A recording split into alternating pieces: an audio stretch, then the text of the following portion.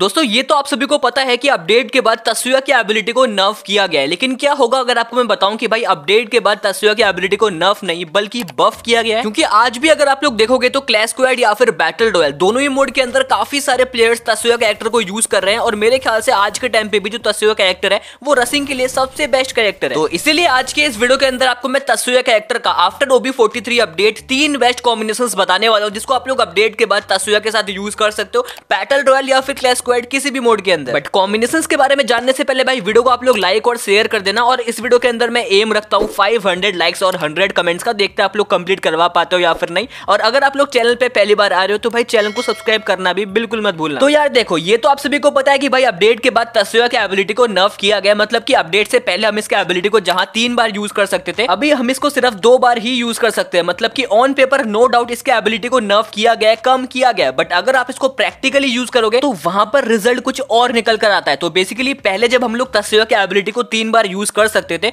तो एक बार में तस्वीर थर्टीन मीटर के डिस्टेंस को कवर करता है। मतलब कि तीन बार में वो थर्टी नाइन मीटर को कवर करता था। लेकिन अभी क्योंकि हमें तस्वीर के अंदर फ्लाइंग एबिलिटी मिल चुकी है तो अगर आप इसको यूज़ करने के बाद जंप करते हो तो ये एक बार में ट्वेंटी मीटर के डिस्टेंस को कवर करता है। मतलब कि दो बार में फोर्टी मीटर डिस्टेंस को कवर कर लेता है, जबकि पहले वो सिर्फ़ थर्टी मीटर था। अब इसके बाद भाई आप ही बताओ कि इसके एबिलिटी को बढ़िया किया गया या फिर बेकार किया गया मेरे हिसाब से तो भाई बढ़िया किया गया? आपका जो भी ओपिनियन है, आप मुझे कमेंट में ज़रूर बताना। ओके सो अब अगर हम बात करें आज के हमारे कॉम्बिनेशन के बारे में तो आज जो हमारे पास सबसे पहला कॉम्बिनेशन है, उसमें आपको एक्टिव स्लॉट के अंदर यूज़ करना है, तस्वीर की एबिलिटी को ऑब्वियसली और सेकंड स्लॉट के अंदर आपको यूज़ करना है कैली की एबिलिटी को, जिससे कि आपका स्प्रिंटिंग स्पीड और ज़्यादा फास्ट हो जाएगा। अब ये तो आप सभी को पता चल चुका है कि आप लोग तस्वीर की एबिलिटी को यूज़ करने के बाद मतलब फ्लाइंग तस्वीर की एबिलिटी को यूज़ करने के बाद, दो बार में फोर्टी मीटर डिस्टेंस को कवर कर सकते हो। लेकिन जब आपका एबिलिटी चार्ज नहीं होगा नॉर्मल टाइम में जब आप लोग रस करने जाओगे तो वहाँ पर अगर आपके पास कैली की एबिलिटी होगा तो आपको और ज़्यादा स्प्रिंटिंग स्पीड देखने को मिल जाएगा, जो कि आपको रसिंग के अंदर डेफिनेटली काम आएगा। और नॉर्मली जब आप इसको तस्वीर के साथ यूज़ करोगे, तब कैली की वजह से आप और ज़्यादा डिस्टेंस को कवर कर पाओगे, जिससे कि आप लोग एनिमीज के ऊपर जल्दी से रस कर पाओगे। बट जब आप लोग शॉर्ट रेंज के अंदर रस करने जाओगे, वहाँ पर इजिली फाइट्स को निकालने के लिए आपको थर्ड और फोर्थ स्लॉट के अंदर लूना और हयातो की एबिलिटी को एड करना है, जिससे कि आप लोग एनिमीज के ऊपर ज़्यादा रेट ऑफ़ फायर से मतलब ज़्यादा तेज़ी से एनिमीज के ऊपर ज़्यादा डैमेज दे पाओगे, जिससे कि एनिमीज जल्दी खत्म हो जाएँगे। तो अगर आप लोग भी ऐसे एनिमीज को घुसकर मारना पसंद करते हो इंटेंस रसर हो तो तस्वीर के साथ Kelly plus Luna plus Hayato की एबिलिटी को आप लोग यूज़ करना,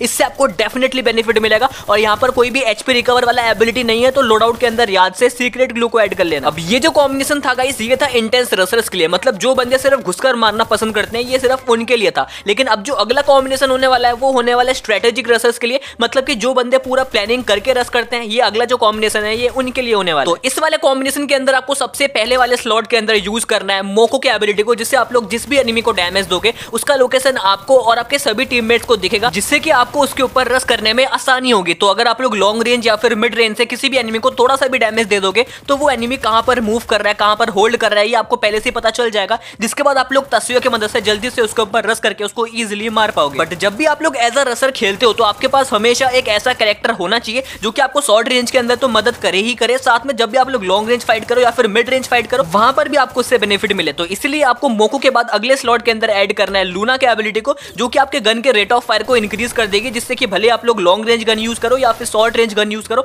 मतलब लॉन्ग रेंज फाइट करो या फिर शॉर्ट रेंज फाइट करो, आपको हर जगह बेनिफिट मिलेगा। और साथ ही क्योंकि आपके गन का रेट ऑफ़ फायर आठ परसेंट इंक्रीज हो जाएगा तो इससे आपका जो ड्रैग हेडशॉट है ना, वो भी काफ़ी इजिली कनेक्ट हो जाएगा। और अगर बाई चांस आपका हेडशॉट नहीं भी लग रहा है तो डोंट वरी बॉडी शॉट से भी आप लोग एनिमीज को जल्दी और आसानी से खत्म कर सकते हो। और एट द एंड लास्ट वाले स्लॉट के अंदर आपको एड करना है जे बीब्स की एबिलिटी को, जो कि ईपी का यूज़ करके आपके ऊपर आने वाले डैमेज को 12% ब्लॉक करेगा मतलब कि आपके ऊपर 12% डैमेज कम पड़ेगा। तो भले आप लोग लॉन्ग रेंज फाइट करो या फिर शॉर्ट रेंज के अंदर रस करने जाओ, वहाँ पर अगर एनिमी आपको डैमेज देता है तो आपके ऊपर 12% डैमेज कम पड़ेगा। और क्योंकि आपके पास लूना का एबिलिटी रहेगा तो आपका जो रेट ऑफ़ फायर है वो बढ़ जाएगा, जिससे कि एनिमीज के ऊपर जल्दी जल्दी डैमेज पड़ेगा, जिससे कि एनिमीज जल्दी खत्म हो जाएँगे। सो एज अ स्ट्रेटेजिक रसर अगर आप लोग अपडेट के बाद खेलना चाहते हो तो भाई ये वाला कॉम्बिनेशन आपके लिए सबसे बढ़िया कॉम्बिनेशन होने वाला है। इसको आप लोग डेफिनेटली यूज़ कर सकते हैं। बेनिफिट आपको हंड्रेड मिलेगा। सो अब जो आज का हमारा आखिरी कॉम्बिनेशन है, वो एक ऑल राउंडर कॉम्बिनेशन है। तो अगर आप लोग ऑलराउंडिंग गेम प्ले करते हो मतलब शॉर्ट रेंज फाइट और लॉन्ग रेंज फाइट दोनों ही करते हो तो आपको सबसे पहले तस्वीर के साथ यूज़ करना है मारो के एबिलिटी को,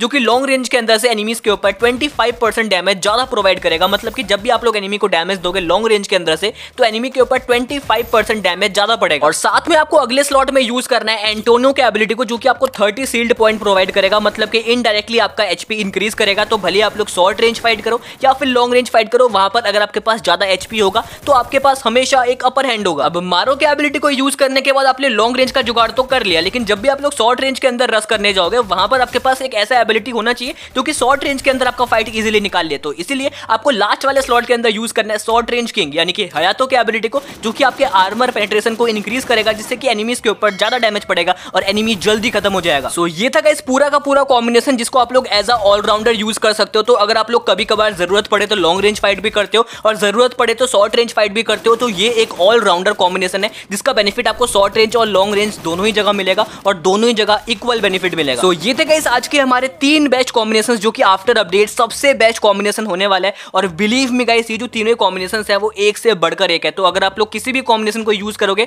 तो बेनिफिट आपको अवश्य मिलेगा। सो so, यही तक था यार आज का ये वीडियो आई होप कि आपको ये वीडियो पसंद आया होगा। तो अगर आपको वीडियो पसंद आया हो तो वीडियो को आप लोग लाइक और शेयर कर देना। और अब अगर आपको क्लैश क्वेड के और भी कॉम्बिनेशन के बारे में जानना है तो अभी आपको जो दो वीडियो दिख रहे हैं स्क्रीन के अंदर, आप दोनों में से किसी भी वीडियो को चेकआउट कर सकते हो।